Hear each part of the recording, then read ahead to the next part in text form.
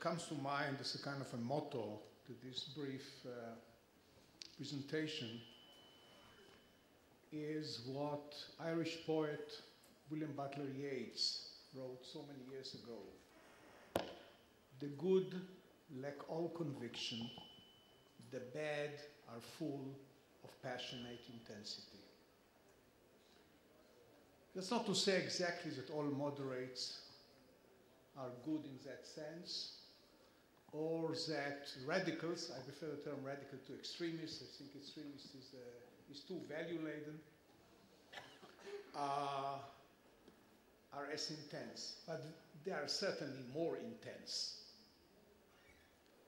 Both when they have recourse to violence and when they try to preserve a kind of a cons conservative norms of behavior. But when we speak about the variety of radical movements and the variety of, let's say, non-radical movement, call them moderates, and there is of course a variety. You can't generalize, not even within one country, but certainly not all over uh, Muslim world. You forget, in the very presentation perhaps of this panel, a third force, a major player in all Muslim countries, and this is the state, which usually considers itself to be as Muslim as the next guy. Has a lot of power, both hard, very hard, and soft, all kind of modern brainwashing, intervenes, this is an interventionist state, not the old type of hands-off state. And above all, it's a state with a lot of experience of dealing with Muslims of two varieties. Now, the line taken by the state, both in declarations and above all in real action, is the major constraining factor in whatever moderates or the less radical among the radicals might do. I'm not absolving them of responsibility. They do have a lot of responsibility. Their lack of enthusiasm, their lack of courage many times, their double dealings, their opportunism are very well known and documented. I'm thinking about both varieties of social forces. But the state is a major player. And let us not forget it.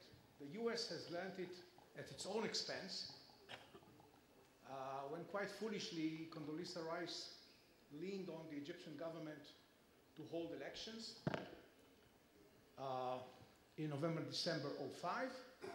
And after the first two rounds in which the Muslim Brethren has won about one-fifth of the seat, President Mubarak has put his foot down and said, we are going to do the third round of the elections our way.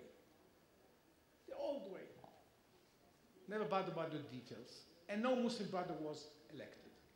Now, and he ran against the ire of President Bush, of course, who backed his, his uh, Secretary of State, quite rightly, in, in terms of proper governmental behavior. Now, did he, do, did he do it out of cynicism?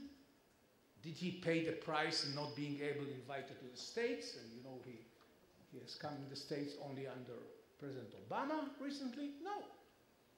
He, he and his government, in their clumsy, bumbling way, worried above all, of course, about their own survival, as all authoritarian regimes must be, did not trust the Muslim Brothers. However much many people will vote for them, he did not trust it. And the question is, why blame him? It's not easy. When you say to Egyptians, why not put them to the, to the test? Let them first run in municipal elections. Let's see how they run their, they say, well, you know, they did it in, in Algeria in the early 90s. And they ran their um, municipalities like small Iranian republics. What do, what do we do? What do we do? But how to get out of this predicament? Now, there is in Egypt uh, a movement, also called Wasatiyah, with the same notion of the median ways, especially, that we have, we have heard about, which, as far as we can judge from their internal discussions, really broke with the Muslim Brethren over full acceptance of pluralism without ifs and buts. Even this government, even this movement, unlike uh, the Muslim Brethren, which ha has been ready to take risks, has not been given license by the Egyptian government to operate either as a political party or even as a social movement. At most, they, can, they are recognized as a cultural movement. So there is no opening. Some way out of this have been shown by the most brutal movement, uh, government in dealing with the Islamists with Algeria, ironically enough. The Muslim of Sheikh, the uh, movement of Sheikh Nakhnakh has part of the Muslim Brothers, which has not taken part in the violence, has been brought into government.